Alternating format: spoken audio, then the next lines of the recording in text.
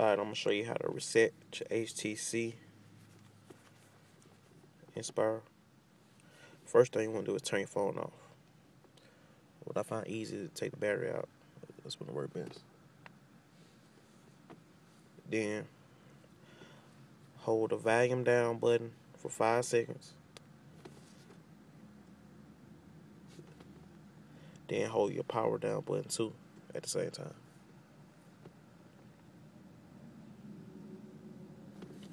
Now you should get this screen right here after you did that. You go down with the volume down button. Hold on. Go down to factory reset. Then you push the power button to uh, push the power button to uh, select it. And that's pretty much it.